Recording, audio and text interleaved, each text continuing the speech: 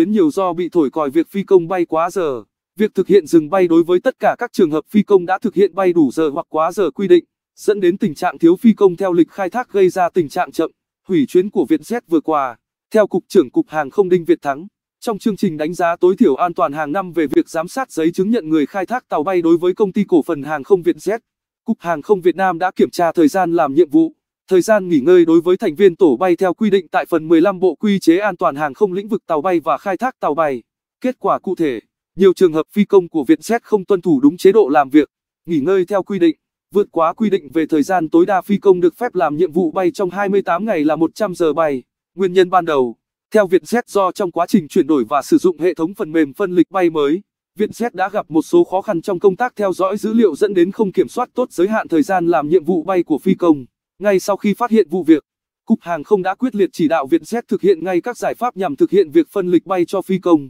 Theo quy định về thời gian làm nhiệm vụ bay tại Bộ Quy chế an toàn hàng không lĩnh vực tàu bay và khai thác tàu bay, theo Cục Hàng không, Vietjet đã tuân thủ nghiêm túc chỉ thị của Cục và thực hiện dừng bay đối với tất cả các trường hợp phi công đã thực hiện bay đủ giờ hoặc quá giờ quy định. Việc này dẫn đến tình trạng thiếu phi công để thực hiện các chuyến bay theo lịch khai thác và đã dẫn đến tình trạng chậm, hủy chuyến trên các chuyến bay của Vietjet trong thời gian từ ngày 14 tháng 6 năm 2019. Từ ngày 14 tháng 6, hàng loạt chuyến bay của Vietjet bị hủy hoặc chậm chuyến kéo dài tại nhiều sân bay khiến hành khách bức xúc. Tình trạng này tiếp diễn ở những ngày sau đó. Đến ngày 15 tháng 6, Vietjet phát thông cáo báo chí cho biết trong hai ngày 14 và 15 tháng 6, do ảnh hưởng của việc trễ kế hoạch nhận máy bay mới và nguyên nhân khai thác, một số chuyến bay của Vietjet đã phải điều chỉnh thời gian khởi hành. Để giảm thiểu tác động của việc này, Vietjet đã khẩn trương điều chỉnh lịch bay, tăng cường thuê thêm máy bay thuê ướt, thuê cả tổ bay, để phục vụ nhu cầu của khách. Tuy nhiên do thời gian giao máy bay của nhà sản xuất và đối tác cho thuê ướt tiếp tục trễ, nên vẫn làm ảnh hưởng tới hoạt động khai thác của hãng.